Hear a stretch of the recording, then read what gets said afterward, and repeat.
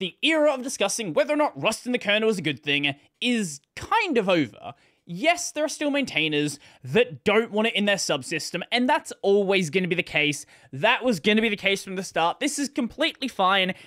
No problem there whatsoever. But for the subsystems that do allow it, we are starting to see some interesting Rust related moves. And for this video, I most want to talk about what's been happening with the Linux kernel 6.18 release. But one of the parties involved is Google. And to do so, we need to kind of jump back a couple of years because whilst in the upstream Linux kernel, there has been this argument over whether or not Rust belongs in the kernel, whether or not Rust should be used. Is this going to destroy everything? Is this a good idea?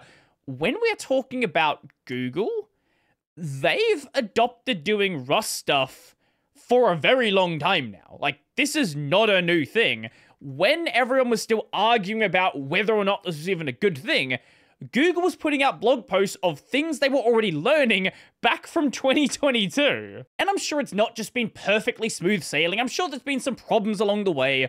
But whilst everyone in the upstream kernel is arguing about all of this stuff, Google has been rewriting things and writing OS level components in Rust for a couple of years now, and doing so has actually led to quite a few benefits. They've noticed that there's been a massive reduction in memory related vulnerabilities over halving during this period. so, like, they already have worked out there's benefits of this, and they've also been noticing that their Rust developers are considerably more productive than their C++ developers. Now, is this due to the work they're doing? You know, you can you can argue about things, but this is a point to take note of. And with all of that in mind, about two years ago, Google began rewriting their binder driver in Rust, and early on, they were seeing some promising results. Binder remains a critical piece of Android's software stack, and for increasing the robustness and security, Google is pursuing a rewrite of the C code in Rust. Binder is responsible for inter-process communication, IPC, and other tasks on Android, and replacing it with memory-safe Rust code should be a big step up for system security. Now, this is primarily a thing used within Android, but it is something that does exist within the upstream Linux kernel. And at the time, this was announced on the LKML with a bunch of people being tagged, Greg Kroah and a bunch of other important people. And if you want to read all of this, feel free to go and do so, but there is a later post that mentions it as well. And there was some feedback received, but considering that at this point, even though Binder is technically not made by Google, they are basically the main consumers of it and the main developers of it, so they're kind of free to change it how they want, assuming it fits within what the upstream kernel is doing. Most of the feedback was sort of just about code quality rather than the merits of doing this change. And then slated for the 6.18 kernel release and part of the RC, Rust Binder add Rust Binder driver. This is being merged into the upstream kernel. We're generally not proponents of rewrites, so why rewrite Binder? Binder has been evolving over the past 15 plus years to meet the evolving needs of Android. Its responsibilities, expectations, and complexity have grown considerably during that time. While we expect Binder to continue to evolve along with Android, there are a number of factors that currently constrain our ability to develop slash maintain it. Briefly, those are complexity. Binder is an intersection of everything in Android and fulfills many responsibilities beyond IPC.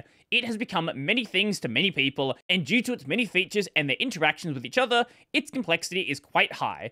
In just 6,000 lines of code, it must deliver transactions to the right threads, it must correctly parse and translate the content and transactions, which contain several objects of different types that can interact with each other, it controls the size of thread pools in user space, and ensures that interactions are assigned to the threads in ways that avoid deadlocks where the thread pools run out of threads. It must track ref counts of objects that are shared by several processors by forwarding ref count changes between the processes correctly. It must handle numerous error scenarios, and it combines slash nest, 13 different locks, 7 reference counters, and atomic variables. Finally, it must do all of this fast and efficiently as possible, minor performance regressions can cause a noticeably degraded user experience. Binder is a critical part of Android's sandboxing strategy. Even Android's most deprivileged sandboxes, e.g. the Chrome Renderer or SW Codec, have direct access to Binder, more than just about any other component. It's important that Binder provide robust security and itself be robust against security vulnerabilities. So even though this is mainly an Android thing,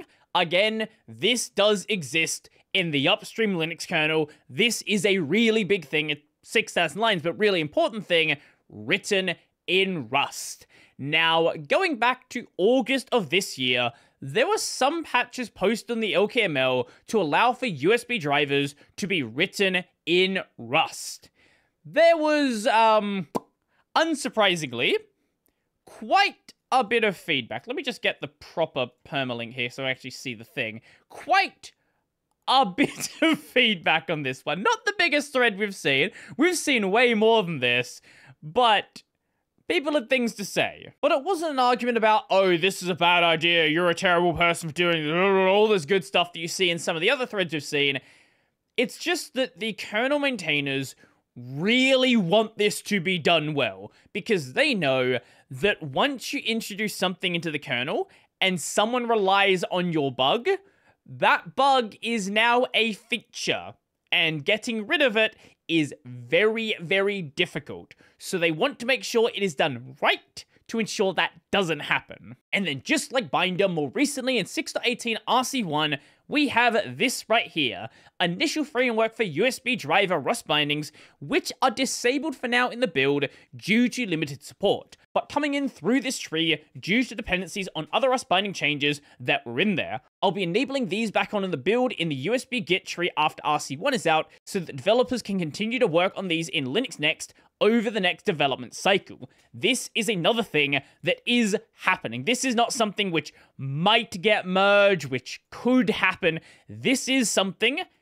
in the 6.18 tree. But I'd also like to mention something that is on the horizon. Linuxing first LED driver written in Rust. This is related to Synology, and there is already a driver that does exist. That is a driver written in C, but it is an out of tree kernel driver, so I don't know why it's out of tree. I don't know if it's not in the state to be upstreamed or what the reason is, but this is a new driver with the intention of it actually being upstreamed. Open source developer Markus Probst posted this patch series on Wednesday for the first LED driver written in Rust. This isn't a sample driver, but rather a real driver targeting the ATmega 1608 microcontroller. The ATmega 1608 microcontroller is used by the Synology NAS devices for controlling the LEDs on the device. Is this the most substantial driver ever created? Is this the most important thing you will ever see?